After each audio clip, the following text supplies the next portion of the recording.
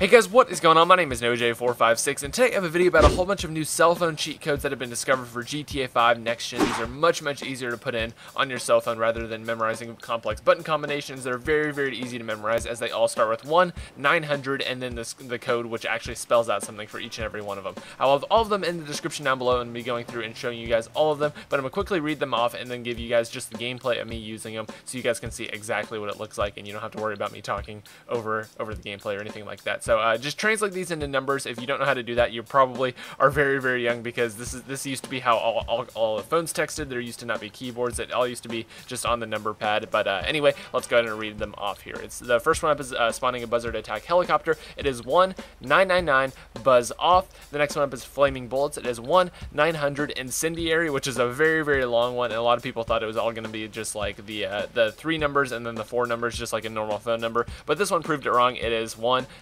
1999 999 Incendiary. The next one up is Give Parachute. That is 1999 Skydive. Next one up is Moon Gravity. 1999 Floater. Uh, the rechargeability is 1999 Power Up. You probably won't use this one hardly ever. I don't think I've ever used a special ability even when I'm playing normally besides Franklin, so there's no reason to really like power them up. The next one up is Slow Motion. It is 1999 Slow Mo. The next one up is Skyfall, which is 1999 Skyfall. I did a video on that one a little bit ago. And the next one up is 1999 Comet. That is to spawn the Comet. The next one up is spawns a PCJ 600 motorcycle. That is one 999 Rocket. Next one up is a Rapid GT spawn, and it is one 999 Rapid GT. Uh, who would, who would have thought that one?